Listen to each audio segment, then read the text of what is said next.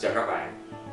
Với clip ngày hôm nay sẽ không phải là những clip review về những món toy mà các bạn đã xem trong suốt thời gian qua trên kênh youtube của tôi mà đây là một clip nói về những nhân vật xuất hiện trong truyện tranh, trong game gắn liền với tuổi thơ của trẻ em 8X Việt Nam chúng ta. Và thứ tự được sắp xếp ở trong clip này chỉ là ngẫu nhiên nó chẳng nói là điều gì cả. Và mời các bạn xem clip cùng tôi.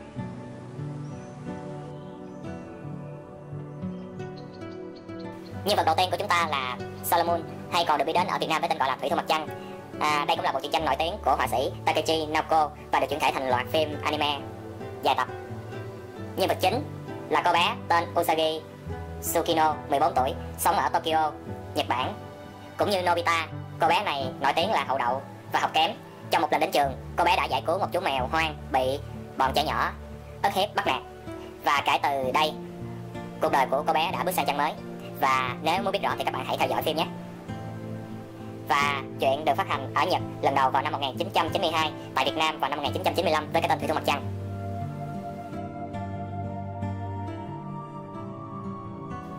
Nhân vật thứ hai của chúng ta là Mega Man hay còn được gọi là Rockman ở Nhật. Đây là loạt trò chơi điện tử của Capcom với nhân vật chính là Mega Man, được phát hành lần đầu tiên vào năm 1987.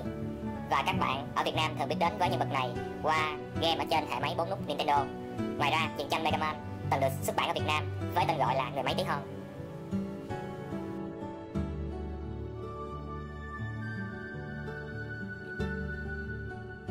Và nhân vật thứ ba là Pikachu. Pikachu xuất hiện ở trong Pokemon.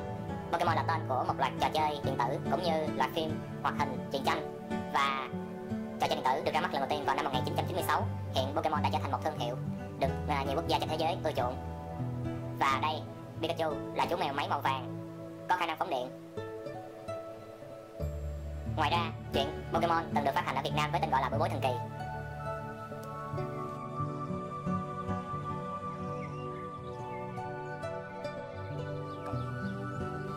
Nhân vật thứ tư là Son Goku xuất hiện ở trong Dragon Ball. Dragon Ball là bộ truyện tranh được sáng tác bởi họa sĩ Toriyama Akira vào năm 1984 và được phát hành lần đầu tiên ở Việt Nam vào những năm 93-94 bởi nhà xuất bản Kim Đồng với tên gọi là Bảy viên ngọc rồng.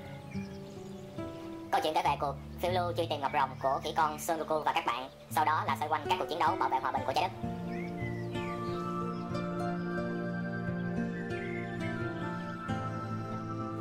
Đây là một nhân vật xuất hiện ở trong Power Ranger Mighty Morphin hay với tên gọi phiên bản Nhật là Super Sentai Zero Ranger. Ở Việt Nam còn được gọi với tên là Nam Anh Em Siêu Nhân. Và đến nay, các tên gọi Nam Anh Em Siêu Nhân vẫn còn gây tranh cãi rất nhiều ở Việt Nam. Các thành phần bất mãn thường là các bạn trẻ trâu với tuổi đời rất non nớt và phải sao ta rất non nớt, rất nguy hiểm và rất đông. Nội dung phim xoay quanh nhóm bạn trẻ có quyền năng bảo vệ sự hòa bình của thế giới chống lại bè lũ quái vật đến từ vũ trụ.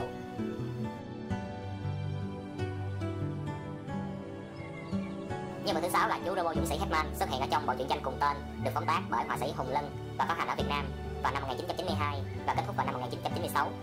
Đây là bộ truyện tranh ông phóng tác từ loạt phim hoạt hình gốc là Golan hay với phiên bản Mỹ là Voltron cùng với Doraemon bảy viên ngọc rồng. Dũng sĩ Hetman là bộ truyện tranh gắn liền với thế hệ trẻ 8X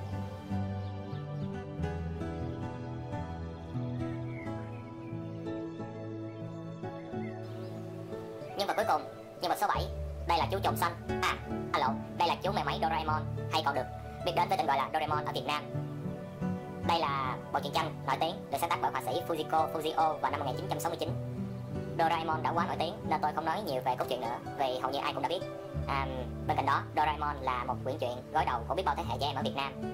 Truyện được xuất bản lần đầu tiên ở Việt Nam vào năm 1992 bởi nhà xuất bản Kim Đồng.